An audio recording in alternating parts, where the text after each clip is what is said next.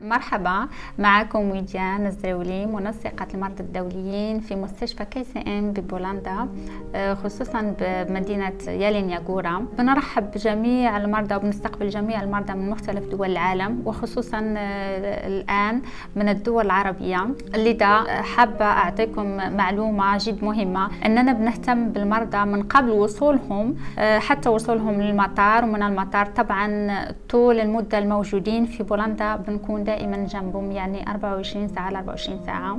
وطبعا آه، الخدمات كلها يعني اللي بدهم إياها في بولندا بنكون طبعا رهن إشارة المريض. يعني ما راح يكون يعني في بلد خارج بلده ما بيعرف اللغة أول شيء يعني حاجز لغة ما يخاف من هذا الشيء لأن دائما نكون جنب المريض. يعني ما راح يحتاج شيء وما يلقى مساعدة مباشرة منا. وأنا موجودة بالمستشفى يعني دائما أكون موجودة ثلاث أيام الأسبوع ودائما متوفرة للمرضى.